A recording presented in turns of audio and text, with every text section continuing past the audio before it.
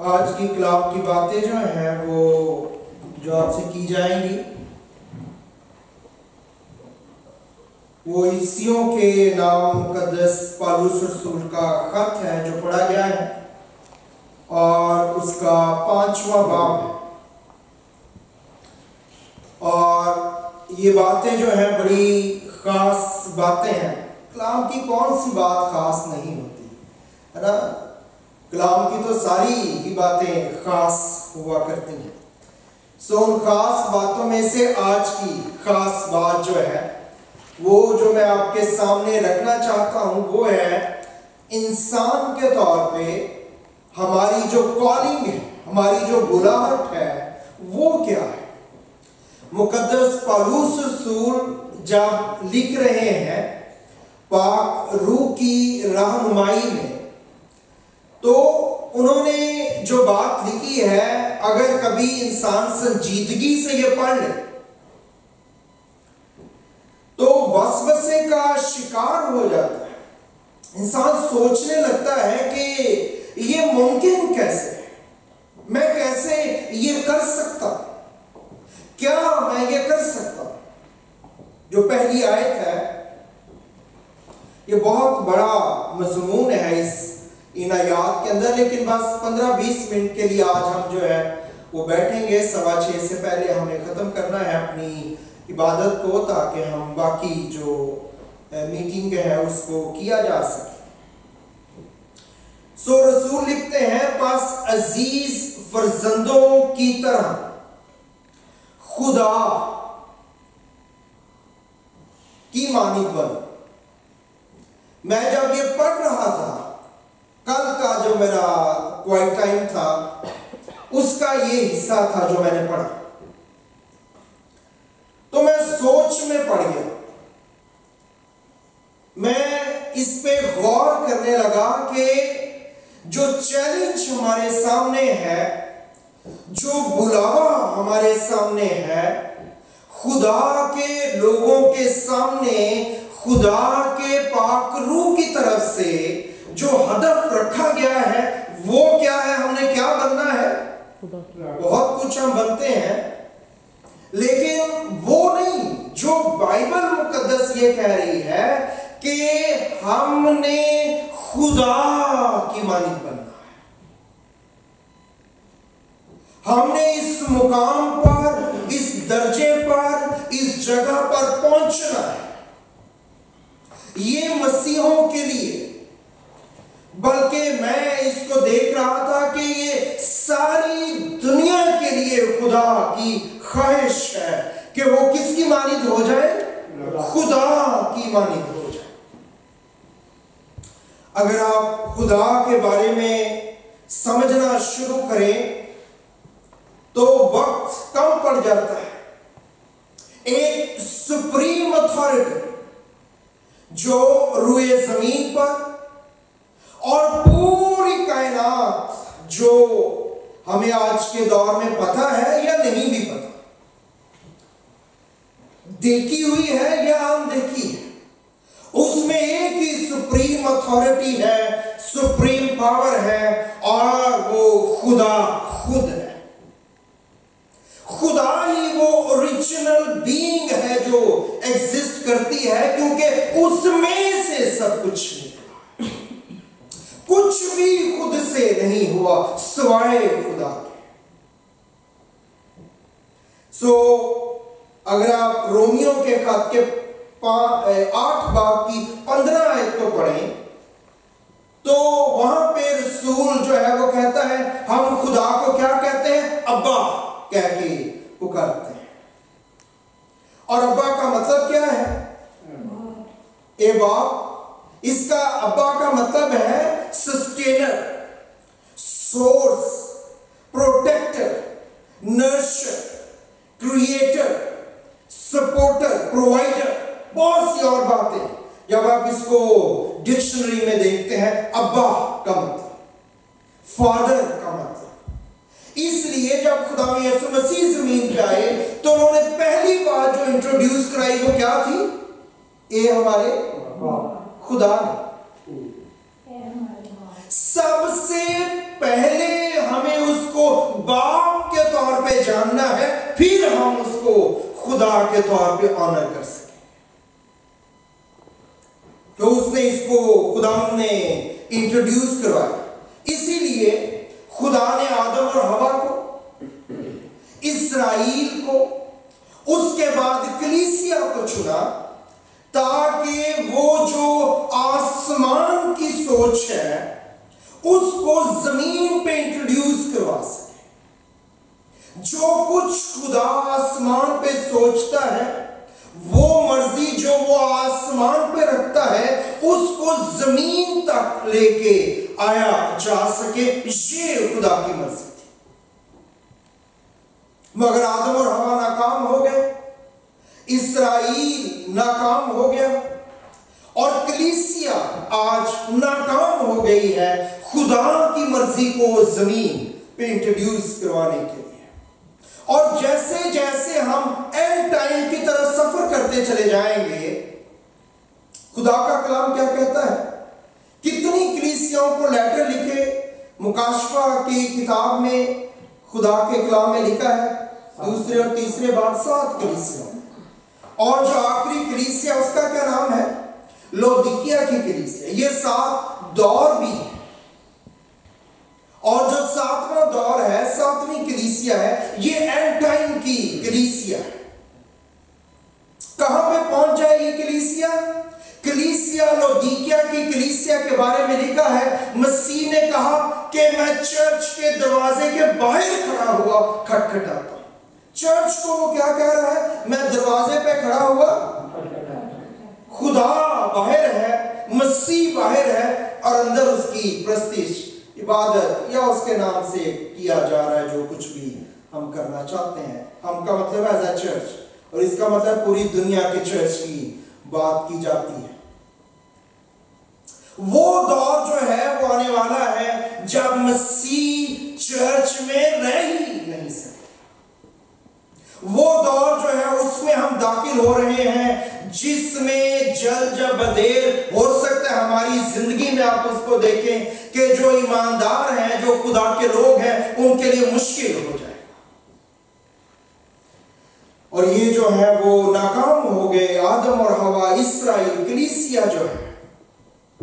मसीह जब ज़मीन पे आया और उसने इसराइल का हैकल का हाल देखा, आप उनसे पूछते तो उनके लिए तो बहुत बड़ी बात थी, सब कुछ।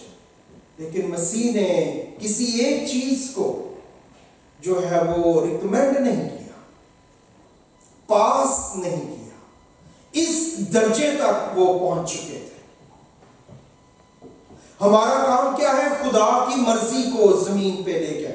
ए, हमारे बाप, तू जो आसमान पे है, तेरा नाम? पाक माना जैसी तेरी मर्ज़ी, आसमान पे पूरी होती है, वो ज़मीन पे पूरी होनी चाहिए। मेरी ज़िंदगी में, मेरे घराने की ज़िंदगी में, और वो कलीसिया, वो लोग, जमात खुदा के लोगों की, जिसमें तूने मुझे रखा है वहाँ ये, लेकिन बजाय इसके कि हम खुदा की मर्ज़ी को ज़मीन पर लेके आते, हमने ज़मीन की मर्ज़ी खुदा को थोपने की कोशिश की है, और कंटिन्यू कर रहे हैं। और ये कोशिशें बढ़ती चली जाएँगी और मुझे ये पूरा ईमान है, आप में से हर एक शख्स खुदा को प्यार करने वाला, उसके कलाम को जानने वाला, उसके कलाम को समझने वाला है। अगर आप अभी पूरी तौर पे नहीं भी समझते तो वो दौर आ जाएगा कि आपके लिए डिफ्रेंशिएट करना जो है मुश्किल नहीं रहेगा। तो हमारा बुलावा जो है, वो खुदा की मानिद बनने का बुलावा ये हमारे सामने रखा गया। है इसके लिए शरीयत दी गई। इसके लिए खैमा इज्तमा दिया गया। इसके लिए हैकल दी गई, कुर्बानियाँ दी गई, ईदें दी गई, और उसके बाद जो है क्रीसिया दी गई, ये सब कुछ जो कुछ हमें दिया गया है, ये क्यों दिया गया है? ताकि हमें खुदा की तरफ़ से मदद मिल सके। क्या बनने की? खुदा। की मानित बनने की मदद मुझे और आपको मिल सके। जब मसीह ज़मीन पे आया तो मसीह का पैगाम कोई दूसरा था? जी मसीह का बिल्कुल यही पैगाम था। उसके लिए मुकदस मत्ती के झील का पांचवा बाब आप पढ़िए। और पाँचवें बाब की जो आखिरी आयत है, उसमें खुदा यसु मसीह ने क्या कहा उनको? कलाम में लिखा है, ये पहाड़ी वास है। उसमें लिखा है पस चाहिए कि तुम कामिल हो, जैसा तुम्हारा आसमानी बाप कामिल है. पता नहीं उस वक्त लोगों को समझ आई कि नहीं आई, आज आ रही है कि नहीं आ रही। लेकिन जो स्टैंडर्ड खुदा ने सेट किया है, मसीह ने और उसके बाद रसूलों ने, वो ये है कि हमने खुदा बाप की मानित बनना है, उसकी तरह हमने उस जगह पर पहुँचना। मानित बनने का क्या मतलब है? उसकी तरह नज़र इसका क्या मतलब है? उस तरह अमल करना। क्या हम पूरा कर सकते हैं? कोताहियाँ हो जाती हैं, लेकिन सुस्ती नहीं करनी। कोशिश में सुस्ती ना कर हमारा एक्ट करना रिएक्ट सब कुछ जो है, इसमें हमने जो है, अकल नहीं हो जाने से अपनी शक्ल बदलते जाओ। ये कहा गया है क्रीसिया को, खुदा के लोगों को, हमारे सामने। जब अबलीस ने आदम और हवा को देखा तो वो किसकी तरह नज़र आए उसको? खुदा की मानित वो खुदा की मानित उसको नज़र आए। इसलिए जैसे उसने देखा तो उसका चारा यह था कि ये इनको मार डाले, हलाक कर दे। तो उसके लिए उसने क्या स्ट्रेटेजी इख्तियार की? पहले उसने चोरी की। क्या चोरी की? उनसे, उनका इख्तियार उसने चोरी कर दिया। इख्तियार किसमें था उनका? खुदा की ओबीडियंस में उनका इख्तियार था।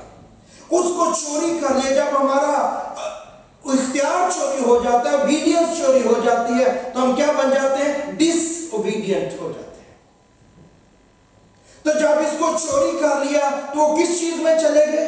वो मरने में और हलाक होने में चले इसी को खुदा यसु मसीह ने कोट किया है। अगर आप पढ़े योना की अंजील के दस बाप की दस है क्या लिखा है? चोर नहीं आता मगर चुराने, मार डालने और हलाक करने। ये सीक्वेंस है जो वहाँ पे हुआ और कॉन्टिन्यूटी से ये होता चला जाता है। अगर हम इसमें जो है कहीं कोताही बरत सो हम जो है वो बनाए गए हैं और बुलाए गए हैं ताकि हम उस तरह से मूव करें जैसे खुदा मूव करता है। उसके लिए रोज़े हैं, दुआ है कलाम है। एक दूसरे के साथ बातचीत करना, कलाम को समझना, उसे गिक आउट करना। ताकि हम खुदा की मूव के साथ जो है वो मूव कर सके। इंसानों के मूव के साथ मूव करने की बात है जितने खुदा के रूह की हदायत से चलते हैं, वो खुदा के हाँ। सो कलाम जो है, बड़ी क्लैरिटी से हमारे सामने जो है ये बातें रख रहा है। तो क्यों लिखा है हमने? खुदा की मालिक बनना है। क्योंकि ये आपकी असल ओरिजिनल हालत है।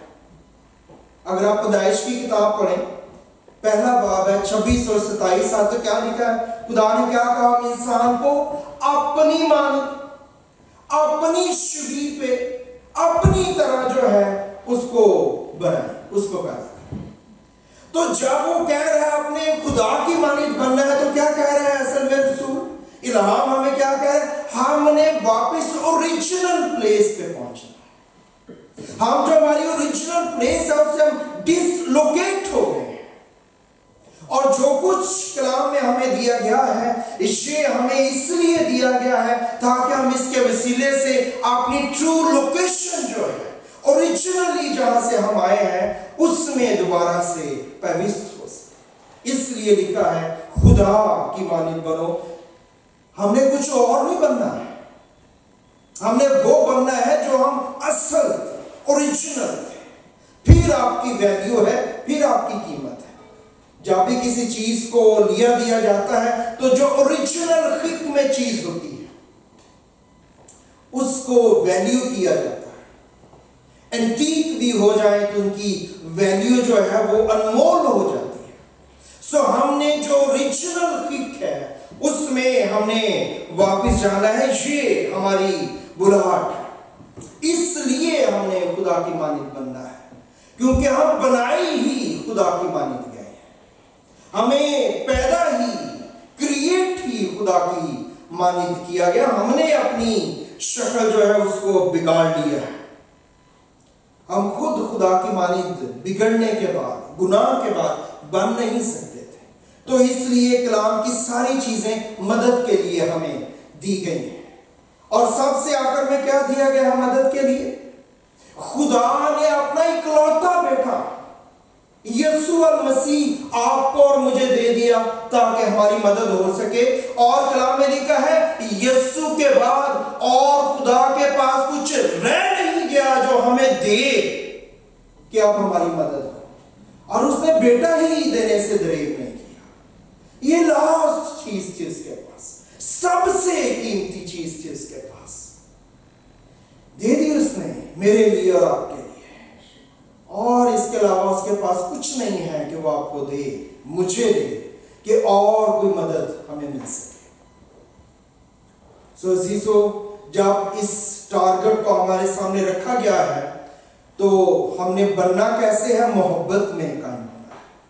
यहाँ पे क्या लिखा है? मोहब्बत से चलो जैसे मसीह ने तुमसे मोहब्बत की है, सो मोहब्बत में हमें मूव करना है। जब हम मती के झील पढ़ रहे मोहब्बत में मूव करने की वहाँ बात की जा रही है।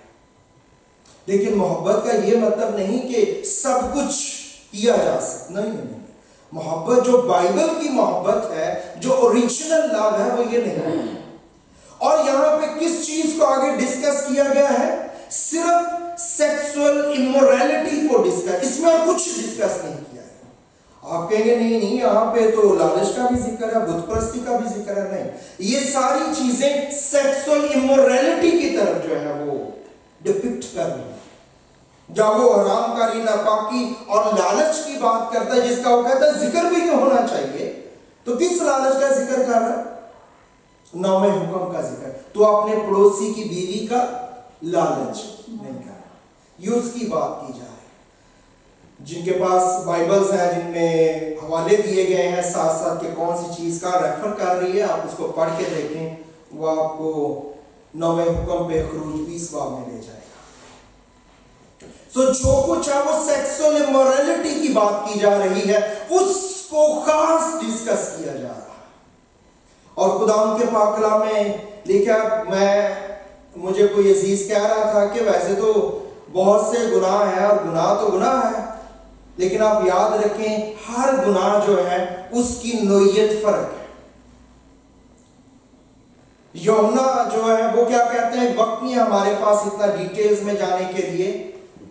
गुनाह ऐसा भी है जो क्या पैदा करता है? मौत पैदा उसके लिए कहते उसके लिए मैं तुम्हें नहीं कहता। सो so, बात ये नहीं है। बात ये कलाम हमें क्या कहता हमारा हदफ हमारा टारगेट क्या है? और चूँकि यहाँ पे सेक्सुअल इमोरलिटी की बात की जा रही है विद रेफरेंस ऑफ़ कि हमने खुदा के दर्जे तक पहुँचना है इसीलिए इसी बात के आखिर में आप पढ़ेंगे कि बीवी को एड्रेस किया गया। खामंद को एड्रेस किया गया। क्यों? क्योंकि उनके दरमियान जब ये रिलेशन कायम होता है तो वो जो है, वो वह लीगल रिलेशन है जो किया जा सकता है। अदरवाइज़ बाकी सब कुछ गुनाह से ताल्लुक रखता है। सब्जेक्ट क्या है? खुदा की मान पहली आयत क्या है? खुदा की मानी बनना है। उसका अंजाम क्या है? कि जो लीगल चीज़ है जिनसी तस्कीन के लिए जब एक दूसरे के पास जाते हैं तो उसका लीगल जो रिलेशन है वो क्या है? तो अजीज़ो वक्त नहीं है इतना, लेकिन बहरहाल याद रखिए मुझे और आपको कलाम को जानना और समझना है कलाम के तरीके से।